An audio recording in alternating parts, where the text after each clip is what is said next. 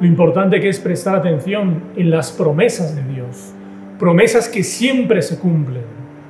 Y de manera especialísima, cuando vienen esas promesas por los labios de nuestra Madre, la Virgen Santísima. Las promesas que ella hizo en Fátima se cumplirán y tenemos esa certeza absoluta.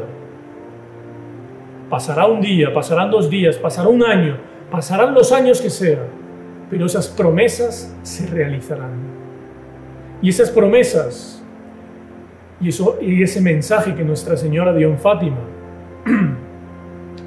es un mensaje para la humanidad, para incentivar a los buenos, para crecer en el amor de Dios, para los que son débiles, afianzarse en la virtud, en la práctica de los mandamientos. Y ese mensaje está hecho para confundir a los malos, aquellos que quieren tramar contra Dios, aquellos que quieren tramar contra la Iglesia, contra Nuestra Señora, son confundidos. Y eso nos lo recuerda la primera lectura que hemos escuchado, esa batalla, esa lucha entre la mujer y la raza del demonio. Una lucha que va a existir siempre hasta el final de los tiempos.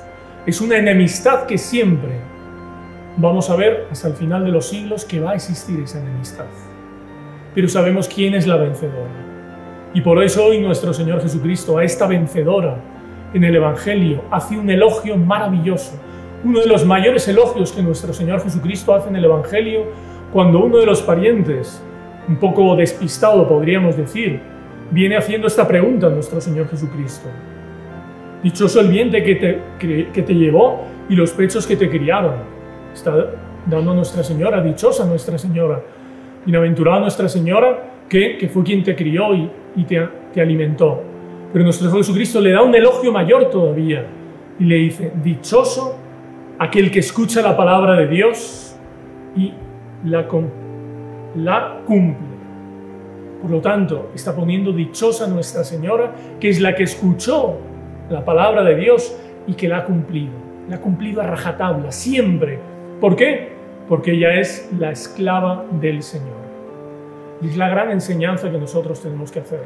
Nuestra Señora quiere que nosotros también seamos esclavos de nuestro Señor Jesucristo y de que cumplamos sus palabras. Seremos nosotros, nosotros dichosos si escuchamos y cumplimos. Hoy hemos tenido la gracia aquí en El Salvador. En otros países han tenido repercusiones incluso. Hemos tenido la gracia y la alegría de dar este regalo a la Santísima Virgen de poder llevarla sobrevolando por todo El Salvador. Gracias podríamos dar a un montón de personas que han colaborado en esta iniciativa, a un montón de personas que han hecho posible este regalo a la Santísima Virgen. No tengan ninguna duda que la Santísima Virgen será la primera que les va a agradecer a cada uno de los que han colaborado en este regalo a la Santísima Virgen. Pero ella sobrevolando El Salvador, que uno veía escenas impresionantes, tocantísimas, gente, familias que desde su casa veían a Nuestra Señora y se arrodillaban, se santiguaban cuando se les bendecía, se quedaban en actitud de oración pidiendo en hospitales, personas del sector de la salud, doctores, enfermeros, que se acercaban a saludar a la Santísima Virgen con pañuelos, con espejos, con su corazón, en presidios que hemos pasado también saludando a la Santísima Virgen, familias, niños, tantos lugares que hemos pasado, miles de personas que hoy han podido elevar los ojos al cielo y ver a Nuestra Señora que derrama su amor, ese inmaculado corazón de María que quiere acoger a todos. Pero Nuestra Señora hoy nos pide una cosa. Es bonito levantar los ojos, es importante levantar los ojos, pero yo hago esta pregunta. Si hoy a usted, a cada uno de nosotros, Nuestra Señora, si le apareciese hoy y le diese el mensaje que dio en Fátima, ¿cómo sería nuestra actitud ante este mensaje? ¿Qué caso haríamos de este mensaje?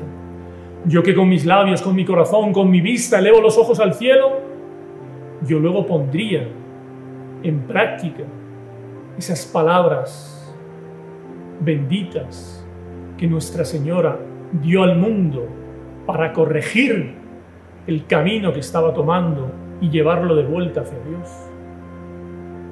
porque aquí es donde nosotros demostramos verdaderamente que somos dichosos.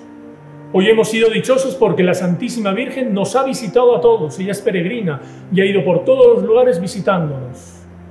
Pero seremos dichosos realmente, como nos dice el Evangelio, si escuchamos la palabra de Dios y la cumplimos.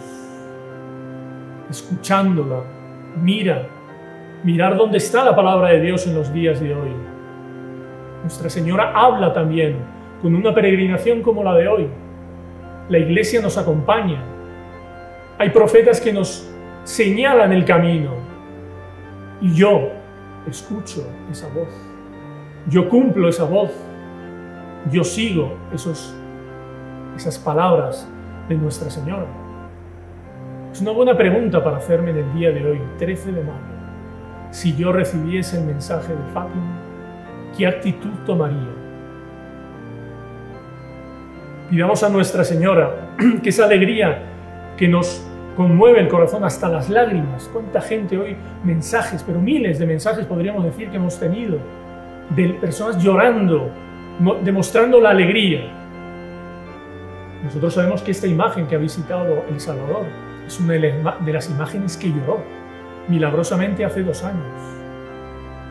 Hagamos que esas lágrimas que Nuestra Señora derramó, porque Nuestra Señora es quien está en la visión beatífica, es como Dios, ve por los ojos de Dios, y al ver por los ojos de Dios, ve el presente, el futuro. Nuestra Señora cuando derramó esas lágrimas, deseemos que hayan sido de alegría al ver hoy, 13 de mayo del 2020, que las almas miraban al cielo para ver a Nuestra Señora, pero sobre todo los corazones miraban al mensaje de Fátima para querer cumplirlo, para amarlo, para transmitirlo y para rezar para que se cumpla cuanto antes todo lo que ella profetizó en Fátima y no se cumplió. Es lo que pedimos de manera especialísima en esta Santa Misa. Alabado sea nuestro Señor Jesucristo.